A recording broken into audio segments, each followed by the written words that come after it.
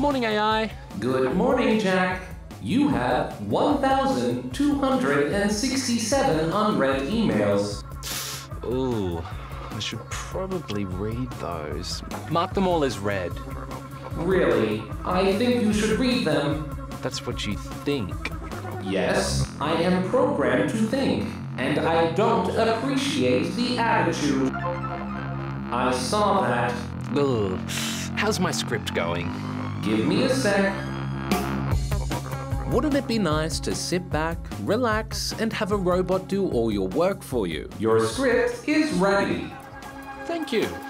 Anyone for sushi? Not me. I prefer chips. Get it? Hmm.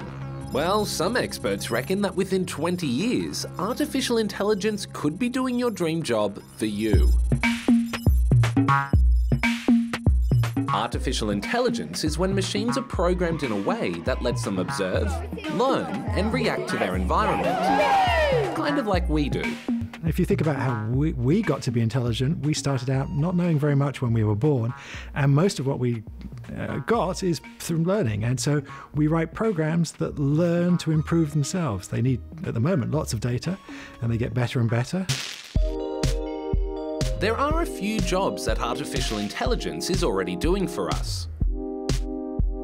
In the US, a truck has successfully delivered goods to another state without a driver. Then there are other robots programmed to take orders, flip burgers, make coffee, and deliver food.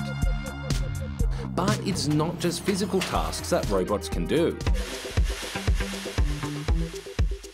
Meet Ailira, the artificially intelligent legal information research assistant. If you have a legal question, all you need to do is type it in, and just a few seconds later, after reading through thousands of case studies and pieces of legislation, she'll have an answer. She's highlighted in there what she thinks is the answer. Yeah, I mean, wow. I mean, even down to the fact that it can answer those like very specific questions. It's Yeah. awesome.